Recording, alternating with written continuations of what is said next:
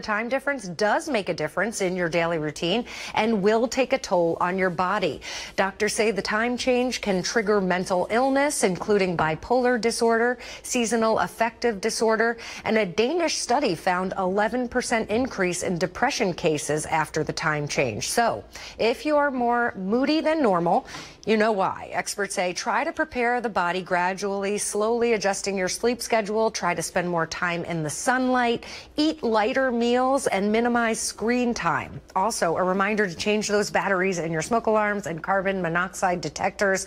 As the weather gets colder, people are using their heat more often, increasing the risk of fire and carbon monoxide poisoning. So that's a good reminder as well. Absolutely. And are you feeling a little sluggish? I'm actually feeling great this morning. I slept all weekend. So. Okay, well, that's good. Yeah. All right. How about you?